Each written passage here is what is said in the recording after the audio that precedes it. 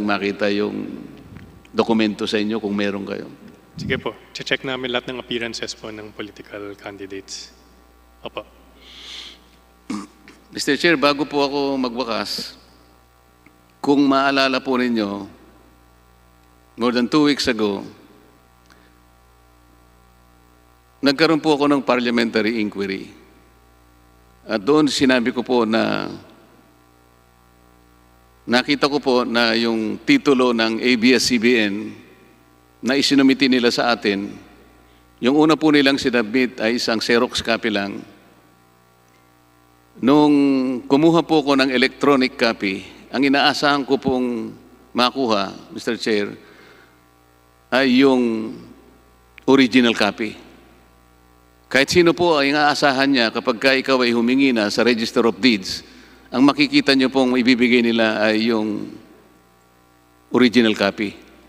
Yung pong salitang original copy, Mr. Chair, nakasulat po sa left margin ng titulo. Pwede po ba nating ipasinag yung, nagpagawa po ako ng, yung kopya po ng mga titulo, pwede nyo bang i-zoom para makita natin?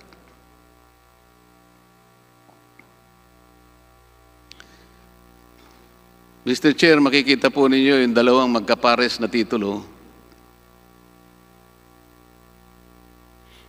Ito pong bandang kanan po, yan po yung Xerox copy na tinanggap natin na una bago po sila nagbigay ng electronic copy. Yung electronic copy po, ito yung bandang kaliwa.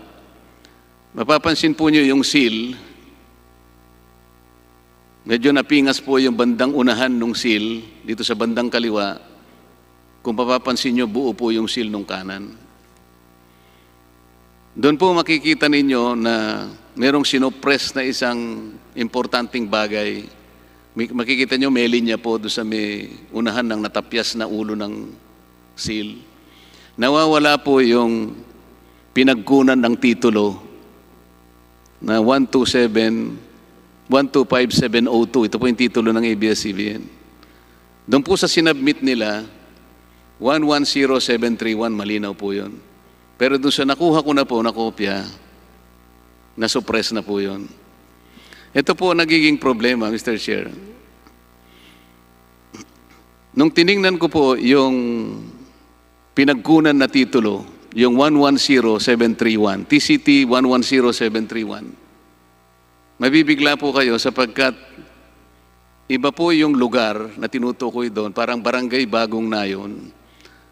At ang area po niya ay 42 square meters. Samantalang yung binigay po nilang ah, titulo sa atin, meron po siyang area na about 44,000 plus square meters. Pagkatapos meron pong annotation sa bandang kanan ng titulo 125702 nakalagay PR 9606. Ang ibig po sabihin ng PR, provisional registration. Pwede po bang makapagbigay ang ah, ABS-CBN kung meron kayong kopya ng provisional registration? Nakapagtataka po kasi, pagkatapos ng limampu at tatlong taon, eh bakit hindi pa po kayo nakakuha ng titulo? Bakit at saka bakit po yung, kung, kung totoo pong merong provisional registration, bakit hindi po naka-annotate do sa titulo ninyo? Dapat po naka-annotate yun. Congressman Marcoleta, bago po sumagot ang ABS, ah, naubos na po ninyo yung oras ninyo. Bagamat papayagan ko pong ah, magbigay linaw ang ABS-CBN at kung hindi po kayo magiging masaya sa magiging sagot ng ABS-CBN, ay maaari nating ah, pag-usapan itong ah, ah, itong ah, talakayan na ito tungkol sa torrents titles po ng ah, pagmamayari ng ABS-CBN sa Blue Ribbon Committee na po, ah, Congressman Marcoleta. ABS-CBN, If I may be recognized, Mr. Chair. opo, nirecognize ko na Sir. po kayo, ma'am. Yung pong hinihingi ni, ni Congressman Marcoleta, wala po kaming ah, sagot doon po sa PR number na sinasabi niyo po. Ma'am, yung hinihingi po kasi ni Congressman Marcoleta, ah, pwede niyo po akong itama kung ako'y Mr. Chairman. kung ako'y nagkakamali. Ah, yan po kasi ay katibayan na kayo talaga ang may-ari po nung ah, nung lote na kinatitirikan ng ah, ABS-CBN. At ah, Mr. Chairman. ilang ah, beses na po na itinanong ni Congressman Deputy Speaker Marcoleta sa Committee Secretariat kung nasaan ba talaga yung original na torrents title po para mapatunayan na ang ABS-CBN talaga ang may-ari nung ah, lote po na nababanggit. ABS-CBN, Mr. Chair, nung una, nung mga one of the first few hearings, we already brought the original copy of the title, which was already examined here, and we already submitted a certified true copy of the title before the COMSEC. yes, ah, Vice Chairman Mike Defensor. Mr. Chairman, uh, for the record, nabanggit na po ni Deputy Speaker Marcoleta na iba po yung isinumbite na na hindi po yun owner certificate to. Ibi, iba po yung sinubmit nila, Mr. Chair. Hindi ko po nakita, nakita yung original, kung may original. Ang nakita ko po yung Xerox copy. Pero Mr. yung Chair- Xerox copy po, ang sinasabi, duplicate, ori- Ah, Deputy Speaker Marcoleta, ah, sa palagay ko po hindi kayo masaya sa sagot ng ABS-CBN. Kaya gaya po ng nauna kong nabanggit ay maaari natin pag-usapan sa Blue Ribbon Committee yung ah, usapin ng torrents titles ng ABS-CBN matapos po ang ah, usapin sa, sa prangkisa ng ABS-CBN. Pwede rin po, Mr. Chair. Ang, ang problema lang ganito, sapagkat walang closure po yung isang subject matter na diniscuss natin, ito po yung reacquisition ng properties ng ABS-CBN. Marirecall po ninyo na yung record ng first arbitration noong 1987, ito po yung nawawala. Pagkatapos nga, nakita natin, pati titulo, questionable po eh. Ang ibig lamang pong sabihin kasi nito, hindi po existido yung original title sa vault ng Register of Deeds ng Quezon City. Hindi po hindi po maliit na bagay po ito, Mr. Chair. Ito po nandito po nakalagay ang transmitter, ang headquarters ng ABS-CBN. Kung hindi po nila palilitawin yung original title, questionable po yun. Alam po ba ninyo, dalawa ang titulo ng 125702? Isa sa kanila at saka sa isang mag-asawang Honsay. Yun naman po ay 400 square meters. Napakarami pong duda eh, nitong titulong ito eh. Mr. Chairman. nak- nakaano pa rin po ito, nakakonekta pa rin po sa prangkisa.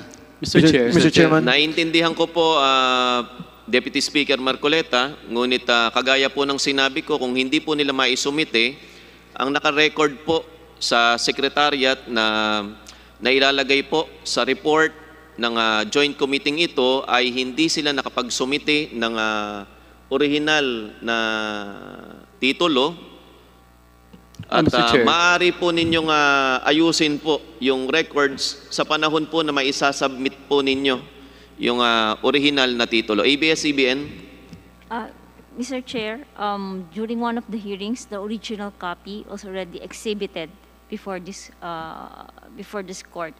At any rate, we have submitted a copy of the certified true co- type, certified true copy of the title issued by the Register of Deeds before the committee secretary. Mr. Chairman. Mr. Chair. yes, ah, Mr. Chairman. Vice Chairman Defensor, pagkatapos po'y kikilalanin ko si Congressman Sarate.